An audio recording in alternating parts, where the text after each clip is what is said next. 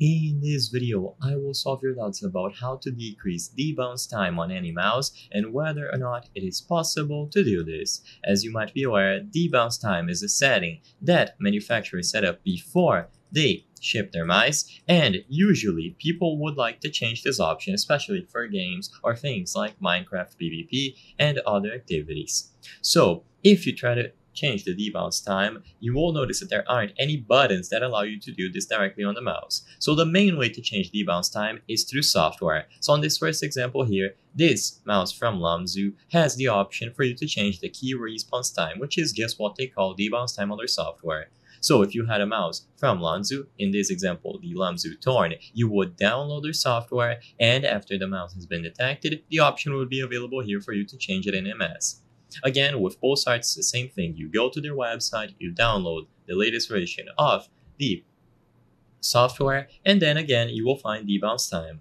However, this isn't true for all mice available in the market. So as you can see, I have two more examples. One of them is going to be Redragon. If you try to browse through all of the options here on Customize, you won't find anything related to debounce time. And I have a Logitech mouse, the G502X. If I go over to the software, once again, you will notice that I can change the sensitivity in assignments, but nothing related to debounce time. So to keep it simple and answer the question in the title of this video, not all mice allow you to customize the debounce time. Only some mice will have this option available in their software. Regardless of which model you have, you will most likely have to download this software in order to change this. So you download the software or the drivers available for the mouse, you open the software and inside you check to see if there is a debounce time option.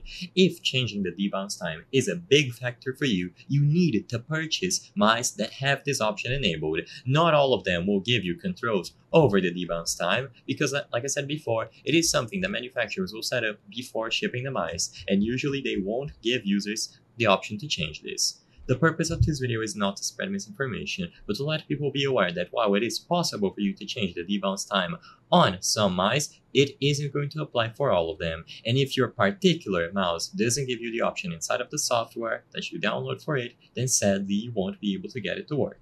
I hope I was able to answer any questions that you had on how to decrease debounce time on any mouse. If this video helped you, please be sure to leave a like and subscribe for more very easy tips. Thank you for watching.